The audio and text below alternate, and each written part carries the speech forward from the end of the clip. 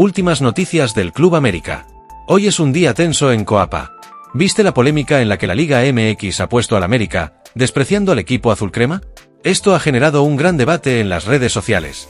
Y hay más, Baños no quiere que lo tomen por sorpresa y se adelanta para sustituir a una estrella.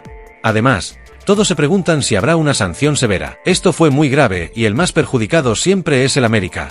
Algunos jugadores del equipo azul crema no se han quedado callados. Mira esto y mucho más ahora. ¿Qué tal, amigo? ¿Ya verificaste si estás suscrito a nuestro canal? Aquí encontrarás noticias exclusivas que no verás en la televisión. Ayúdanos a alcanzar nuestra meta de 50.000 suscriptores.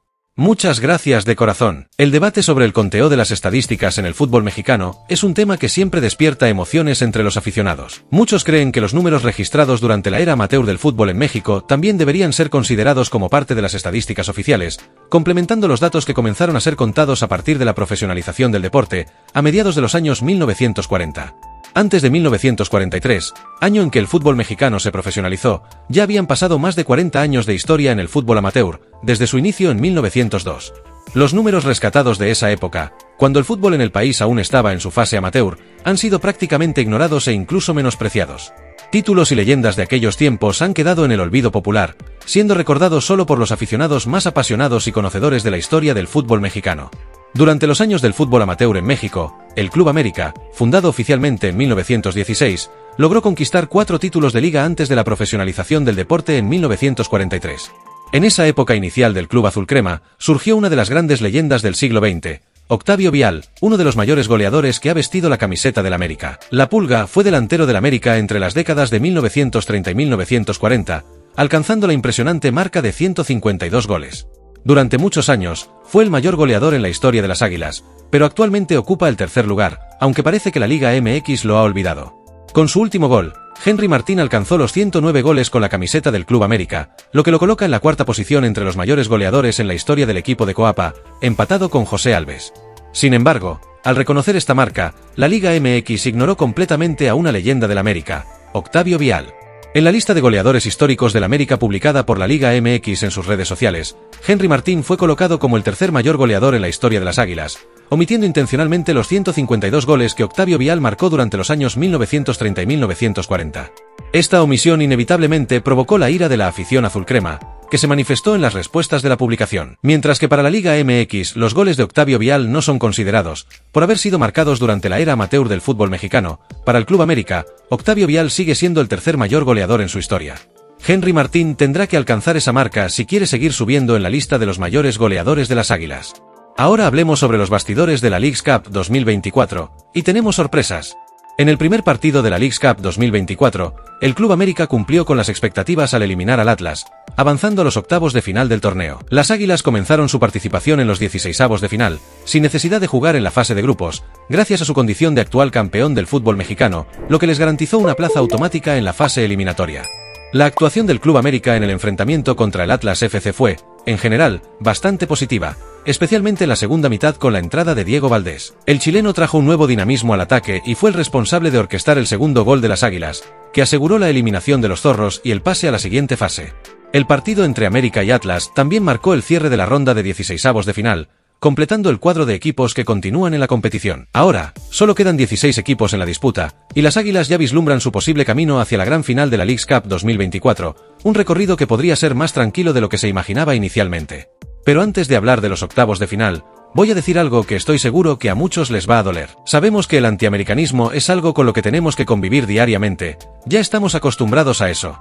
Ahora, el antiamericanismo siempre viene con una pizca de hipocresía. En el partido que jugamos contra los rojinegros, ¿dónde están los críticos, los reporteros que hacen alarde por cualquier cosa contra la América? ¿Por qué no están hablando de la violencia que los zorros cometieron en el partido? Álvaro Fidalgo fue cazado como una presa y nadie dijo nada, y ni estoy citando a otros que hubo. Arbitraje omiso, narrador omiso, comentaristas omisos. El equipo del Atlas simplemente se olvidó de jugar al fútbol y recurrió al antijuego. Al final del vídeo, deja tu opinión en los comentarios. Estoy seguro de que los Antais se esconderán una vez más. Dicho esto, en un giro inesperado, el St. Louis FC superó al Portland Timbers, el rival que muchos esperaban ver frente al Club América en los octavos de final de la Leagues Cup 2024. Ahora, el próximo desafío del equipo azul crema será enfrentar a una de las grandes sorpresas del torneo. Con un historial ampliamente favorable contra el equipo de Missouri, las Águilas llegan confiadas de que este podría ser un enfrentamiento relativamente accesible, pavimentando el camino hacia los cuartos de final. A diferencia de la Leagues Cup 2024, en la edición de 2023, el Club América tuvo que disputar la fase de grupos, quedando en el grupo central 1 junto con el ST Louis FC y el Columbus Crew. En la primera ronda, las Águilas enfrentaron al equipo de Missouri y no tuvieron dificultades para golear por 4 a 0, en un partido donde el Club América fue claramente superior. En ese enfrentamiento, los goles del América fueron marcados por Henry Martín, Julián Quiñones, Kevin Álvarez y Alejandro Cendejas, quien entró en la segunda mitad y cerró la goleada, dando al equipo azul crema un inicio positivo en la Leagues Cup 2023 y ganando su primer enfrentamiento en la historia contra el ST Louis FC sin grandes dificultades. Un poco más de un año después, América y ST Louis se reencontrarán, esta vez en los octavos de final de la Leagues Cup 2024. Las Águilas llegan como grandes favoritas, ya que su rival ocupa el decimotercer lugar en la conferencia oeste de la MLS, y en la clasificación general, es el penúltimo colocado del fútbol estadounidense, con 23 puntos en 25 partidos y un saldo de menos 14 goles. Una observación importante, el América tuvo una ausencia notable en el partido contra el Atlas. Aunque no fue un jugador en el campo, sino un miembro del cuerpo técnico de André Jardine, esta ausencia llamó la atención. Se trata de una figura altamente respetada, reconocida por el entrenador brasileño como su mano derecha.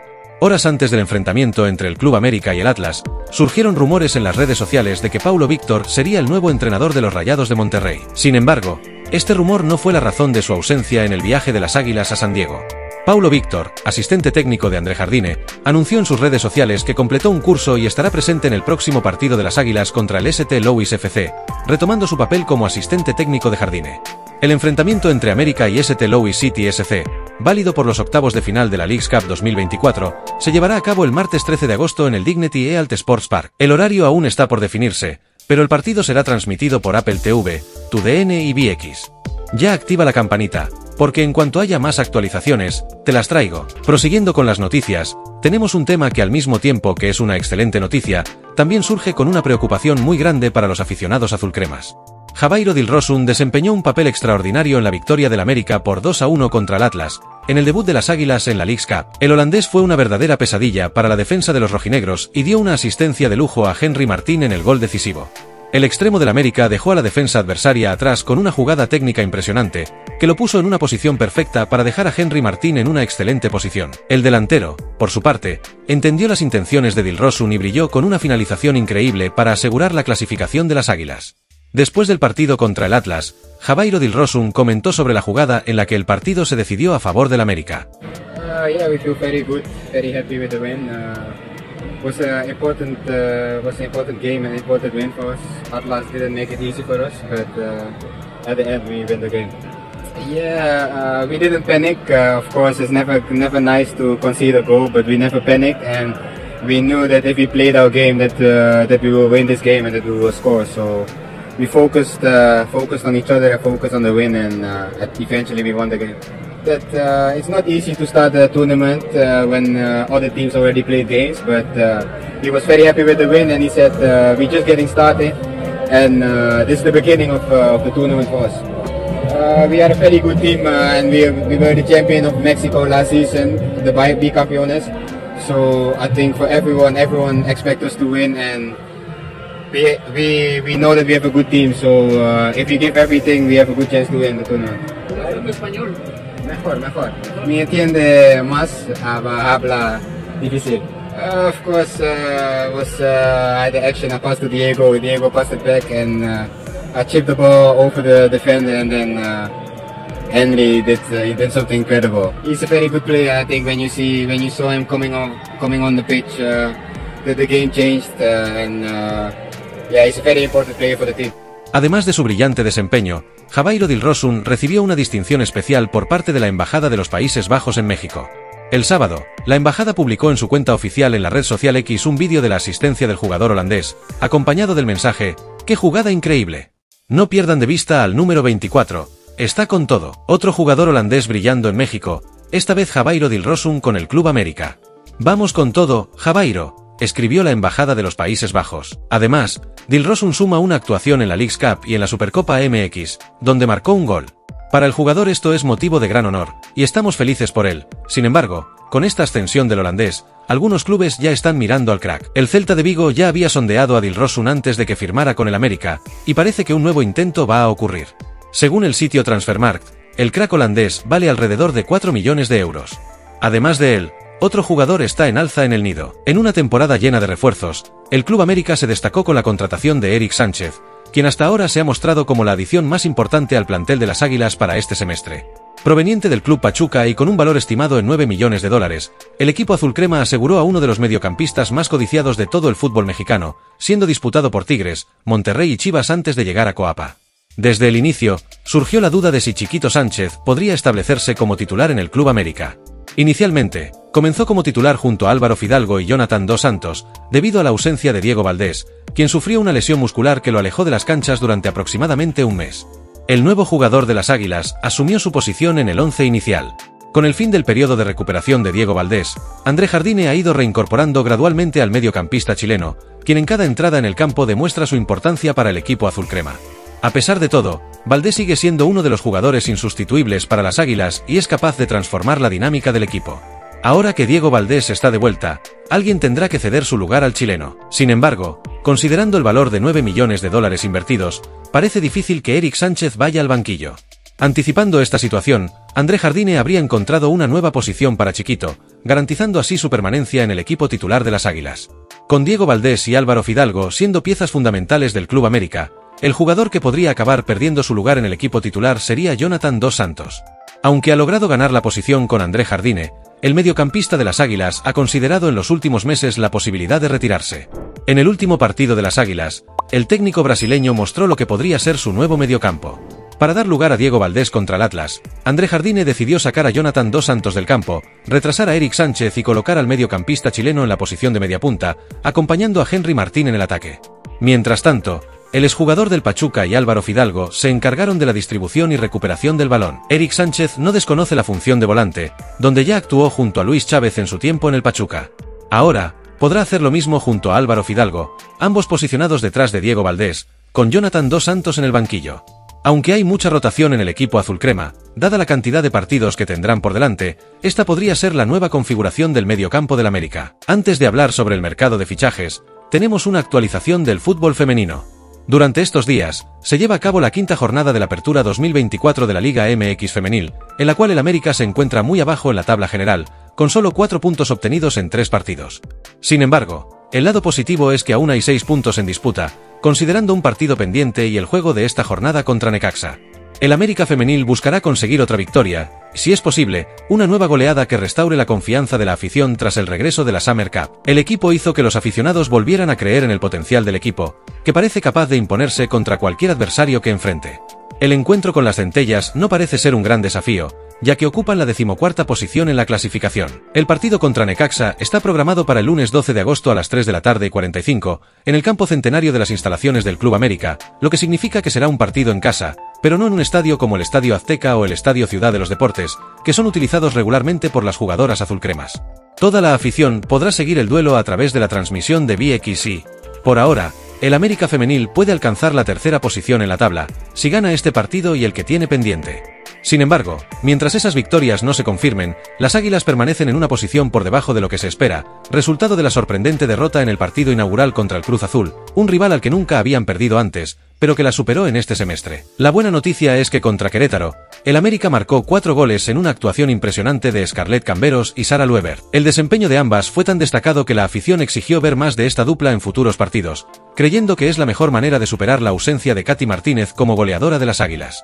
El mejor resultado reciente que Necaxa logró contra el América Femenil fue un empate 1 a 1, obtenido en el torneo anterior, en el campo de las centellas. Sin embargo, hay goleadas contundentes en estos enfrentamientos, con las Águilas marcando 3 goles en enero de 2022, 6 en enero de 2023 y 5 en octubre del año pasado, demostrando su clara superioridad. Para finalizar, vamos al mercado de fichajes. El América sigue firme en su participación en la Leagues Cup 2024, donde derrotó al Atlas y ahora se prepara para enfrentar al ST Louis. Sin embargo, las Águilas no pierden de vista el mercado de fichajes, y uno de los jugadores que preocupa a la directiva es Sebastián Cáceres. El defensor azulcrema ha sido uno de los principales candidatos a dejar el América, despertando el interés de clubes europeos. El Betis es uno de los equipos que ha mostrado gran interés en fichar a Sebastián Cáceres, pero todo indica que el futuro del uruguayo no está en el club español, al menos por ahora. Según información del Canal 9, se decía que Sebastián Cáceres estaba cerca del Betis, pero no está tan cerca como se pensaba. El defensor del América no es una prioridad para el equipo español en este momento, que tiene otras prioridades en el mercado de fichajes. A esta situación se suma la lesión de Sebastián Cáceres en el partido contra el Atlas, en la primera ronda de la Leagues Cup. El defensor sudamericano parece destinado a permanecer en el equipo azulcrema por al menos otro semestre, lo que ciertamente será beneficioso para el América. A pesar de que las Águilas aún no han anunciado nada oficial sobre la gravedad de la lesión, ya circulan informaciones que pueden tranquilizar a los aficionados del club.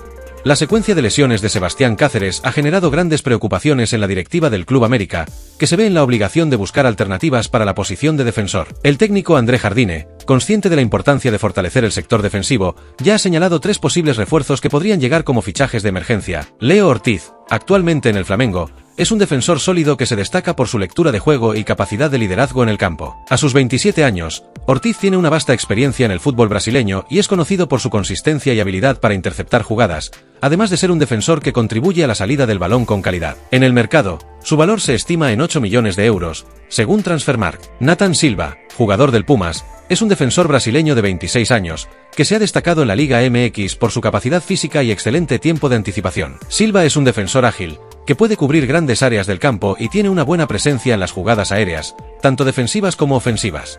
Además, su adaptación al fútbol mexicano es un punto a favor, ya que está familiarizado con el estilo de juego de la liga. Su valor de mercado es de aproximadamente 5 millones de euros. Valentín Gómez, del Vélez Sarsfield, es el más joven de los tres candidatos, con solo 20 años. Sin embargo, su juventud no le impide ser uno de los defensores más prometedores de Argentina. Gómez es un defensor con excelente control de balón y una fuerte capacidad de marcaje. También destaca por su madurez en el campo, algo poco común en jugadores de su edad. Valentín tiene un potencial de crecimiento significativo, lo que lo convierte en una opción interesante a mediano y largo plazo para el América. Su valor de mercado es de 9 millones de euros. La elección de cualquiera de estos jugadores dependerá de las condiciones ofrecidas en el mercado y de la urgencia con que el América necesite reforzar su defensa. Cada uno de ellos traería características específicas que podrían complementar el estilo de juego del equipo comandado por André Jardine. Sin embargo, el tiempo corre en contra de las Águilas, que deben decidir rápidamente cuál será el próximo paso para garantizar la solidez defensiva en el resto de la temporada.